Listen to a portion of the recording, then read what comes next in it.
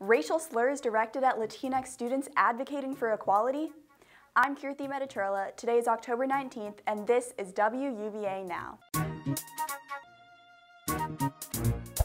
Two individuals in the UVA community responded with racial slurs and hateful comments to Latinx students' demands for greater representation.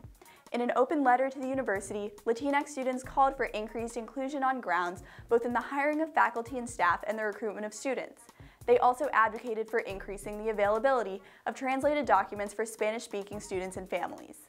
The Latinx Student Alliance, speaking for 6% of the UVA population, brought attention to the disproportionately small number of Hispanic and Latinx faculty members in the College of Arts and Sciences. They had hoped that their letter would impact the university community during the pivotal time directly preceding President Jim Ryan's inauguration, which is taking place today and tomorrow.